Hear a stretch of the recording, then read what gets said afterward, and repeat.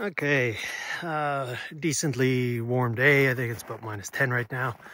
Uh, beautiful late afternoon day. Uh, sun's about to go down. Went for a nice ski today. Found some antlers, some caribou antlers, was really, really nice. Uh, but uh, back to the topic today, I'll, I'll do two topics. One is uh, uh just to quick observation on my new on my reduced uh, lower entrance. Uh, let's go and zoom in a bit so you can see how uh, there is a bit of evidence of, uh, I guess right there, there's some moisture there, which is normal. Uh, but you can see there's no frost or hoarfrost at all. If I zoom in over to this one here, slightly open, but you can see there's hoarfrost on both sides. And that's the chilling effect uh, on a narrow gap of plastic. So it went from about, uh, see right here.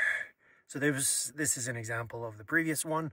So it's about a half centimeter by I think it's like 17, uh, which is, it would be okay normally, especially in warmer temperatures or but the challenge is uh, this narrow gap here when the cool moist air flows through it uh, and this plastic is super chilled uh, basically it'll just create uh, uh, a chill point and then it, the ice build up and uh, the gap is too narrow. So you can see here that's about a I'm flipping from metric to standard but that's about a half inch slightly more than a half inch wide uh, as you can see previously, it went from there to there, and I just added some, some minor styrofoam blocks there just to reduce it even more.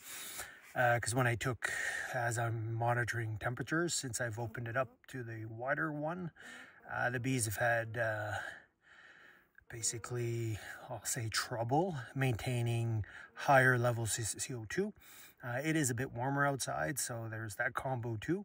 Uh, but uh, my goal is to, to, make it easy for them to keep it in the uh, the one to two three percent range, uh, but them able to manage that. So just going to show a chart now, and you'll see that uh, there's been over the last week there's accumulations of CO2. So that's where the CO2 levels in this box here. So this is a medium and a deep uh, volume. So over time, CO2 accumulates to a certain level and and then basically we call it air exchanges. So I'm able to adjust air exchange to get an idea of, of uh, how much ventilation is actually happening in a box like this. Uh, and you can see it's anywhere from uh, point, uh, 0.25 to maybe 0 0.1, 0.15, which is about uh, an air change every six hours. Uh, so that is probably optimal.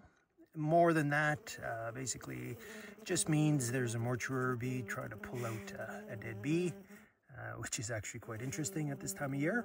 Uh, but you can see the bees never stop working. Hopefully the challenge is if they work too hard, they can't get back in. So I'm to pause this. Okay, I pushed her back in. Hopefully she can uh, get back and get warm. That's the challenge with these weather. This is why I keep this board up. Uh, what it does, it prevents bees from false uh, cleansing because it's still minus 10 out. Uh, and the bees get quickly chilled and then just die. They might be healthy, so I'll, uh, I'll put this